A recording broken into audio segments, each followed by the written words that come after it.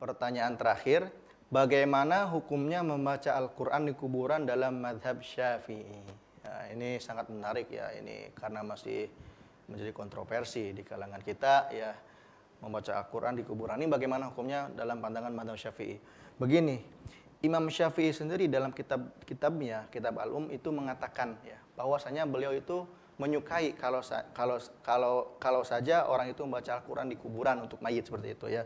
Beliau mengatakan dalam kitab Al-Um ya, uhibbu law quri'a 'indal qabri wa du'iya lil mayyiti wa laisa fi dzalika du'aun muaqqat ya.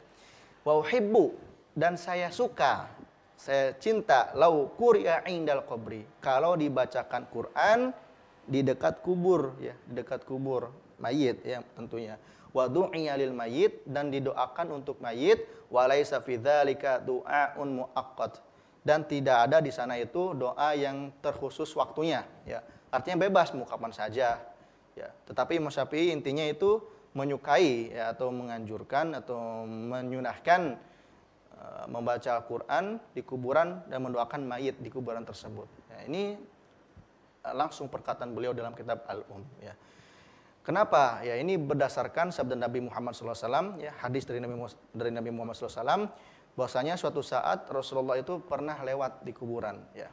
Kemudian beliau mengatakan di situ disiksa, apa, dua orang ini disiksa di kubur dan seterusnya. Kemudian Nabi Muhammad SAW mengambil uh, pelepah kurma dibagi dua, kemudian di uh, diletakkan, ditancapkan di, di, di dua kuburan tersebut. Kemudian Rasulullah bersabda, la'allahu an yukhaffafa anhuma malam taibasa. Ya, semoga ya karena dua apa namanya dua uh, pelepah kurma ini itu bisa meringankan ya siksa uh, kubur mereka berdua ini malam taibasa selama keduanya itu belum kering. Nah, bagaimana para, ulama menafsirkan uh, hadis ini? Di antaranya Ibnu Hajar al di antaranya Ibnu Hajar al Asqalani dalam kitab Fathul Bari beliau mengatakan innal ma'na fihi annahu yusabbihu madama rotban. Ya di situ maknanya adalah bahwasanya si pelepah kurma itu selama belum kering itu bertasbih. Bertasbih. Payah sulu at takfib nah karena sebab tasbihnya ini tasbih si pelepah kurma yang belum kering ini itu menyebabkan keringanan siksa pada mayit ya Kemudian beliau, beliau melanjutkan wa kadzalika fi ma fihi barakatun kadzikri wa tilawatil Quran min babil aula. Nah, kalau saja tasbihnya pelepah kurma itu bisa meringankan siksa mayit, ya, apalagi membaca Al-Quran, kemudian zikir, istighfar dan selainnya, ya itu tentu lebih utama. Ini kata Imam Ibnu Hajar Al-Asqalani dalam kitab Fathul Bari seperti itu. Kemudian uh, menurut Imam Nawawi dalam kitab uh, syarah syarahnya ya ketika menyarahi hadis ini di dalam kitab syarah Muslim beliau mengatakan ya wastahabbal ulama ya dan ulama itu menyunahkan ya menganjurkan.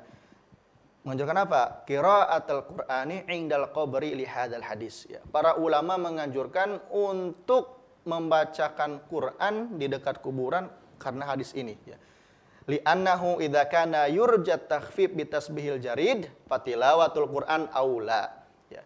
Kenapa? Karena kalau oleh tasbih ya oleh oleh bacaan tasbih pelepah kurma saja itu bisa meringankan, meringankan sisa kubur, tentunya membaca Al-Qur'an dan zikir atau yang lainnya itu lebih utama. Wallahu alam. Itu kata Imam Nawawi. Ya. Ibnu Hajar Asqalani, Manawi, ya, para pensyarah hadis mengatakan demikian seperti itu. Jadi tidak masalah ya membaca Al-Qur'an itu di kuburan itu tidak masalah ya. Dan itu adalah pendapat para ulama ya. Tidak apa-apa dan itu dapat meringankan siksanya uh, mayit di dalam kuburan seperti itu.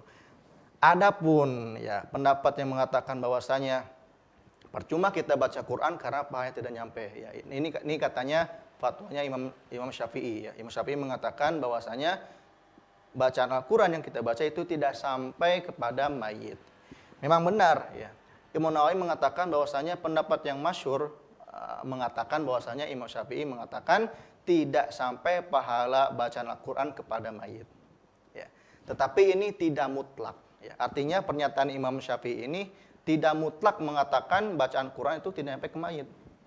Kalau membaca Al-Quran ini disertai dengan doa, maka semua ulama itu ijma bahwasanya itu sampai kepada mayit. Ya. Ini bisa dibuktikan di dalam uh, kitab Hasyiah Al-Bujairimi ya, bahwasanya di situ disebutkan thumma inna mahallal khilaf haitsu lam yukhrijhu makhraj du'a ya. Yang menjadi khilaf antara uh, ulama yang mengatakan tidak sampainya pahala Quran kepada mayit dan yang mengatakan sampai itu sebenarnya masalah menjadikan si bacaan itu eh, doa atau bukan ya. Kalau uh, dijadikan sebagai hanya bacaan Quran saja ya, itu memang ada perselisihan ulama ada yang mengatakan sampai ada yang mengatakan tidak sampai.